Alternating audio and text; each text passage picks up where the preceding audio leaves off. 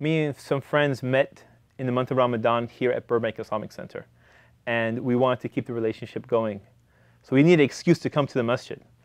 So I went to the administration and I said, can we have something here at the month of Ramadan, after the month of Ramadan? They said, sure. I said, we're going to have something called game night. Are you okay with that?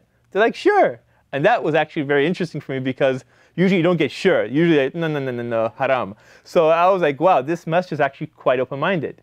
So open-minded, they're not judgmental.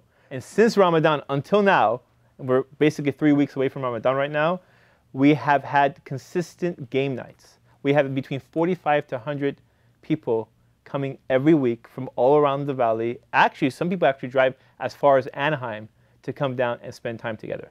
That to me is amazing. So what is game night?